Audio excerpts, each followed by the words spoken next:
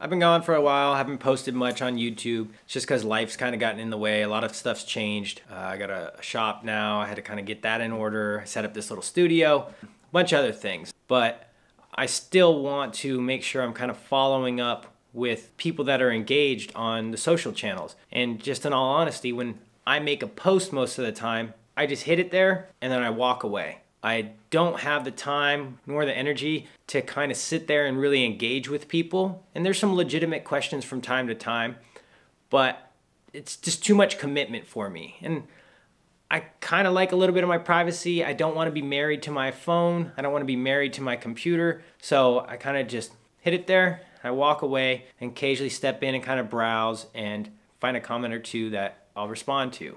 It can take up a lot of your time throughout a day. So with that said, I just kind of pushed back on it, step away. But in the meantime, I've kind of thought a, a better way for me to kind of tackle the issue and, and make sure that I'm engaging with the people that are reaching out to me is by starting a new series called Feedback. I mean, plain and simple, just feedback. I'm going to target specifically YouTube. I think that's where there's a little bit more enthusiasm, much more in depth questions there. And typically it seems like YouTubers are are more in there trying to share some knowledge, learn some stuff. They're excited about it. I don't know. I don't want to analyze it too much, but anyway, I'm I'm going to start responding to YouTube comments specifically through a video series called Feedback.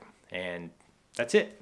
It may end up being a dud. I don't know, but I think it's worth a shot trying to build like a, a, a sense of community with the subscribers and just uh, guys getting new into the game or guys that have been around for a long time. I mean, there's kind of the old guard, and then there's this whole crop of young guys, and I kind of want to mesh the two. So maybe th this little feedback thing will kind of help.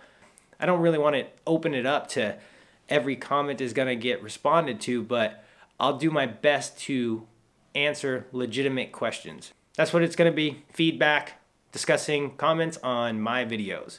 If you enjoy what you're watching, don't forget, click the subscribe if you haven't already.